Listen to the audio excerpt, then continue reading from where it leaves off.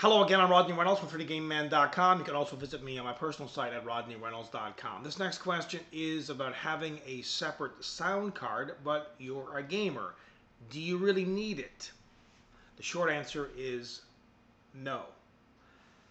However, if you're doing other things on your computer system besides gaming, then yes. And maybe you're a little bit of an audiophile, maybe you're into music in a big way. In that case, probably the first things you're going to think about is getting a separate sound card. Not an onboard sound card, which by the way, these days for gamers is more than adequate.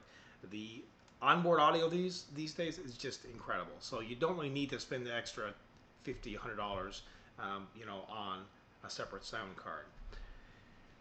Now, in saying that, a separate sound card will give you a little bit better audio, but a lot of people do not have, you know, speakers that are high quality enough to even ever dream about hearing the difference. So, especially for a gamer, no, I don't think, to be honest, it really will, you know, make that much of a difference.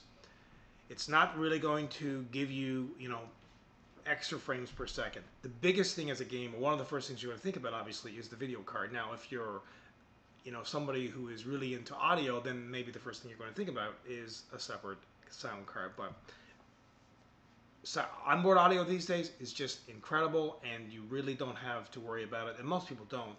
If you see, you know, um, or you, know, you ask a, a friend, "Do you have a separate sound card?" They'll probably say no. And when you're building a computer system, a lot of people, as gamers, you just you don't really think about it. The motherboard has onboard audio, so that's good enough. In any case, I hope this answers your question and keep them coming. If you have a question for me, you can head on over to 3dgameman.com and you can post it in the forum, or you can shoot me an email directly at techquestions at 3dgameman.com.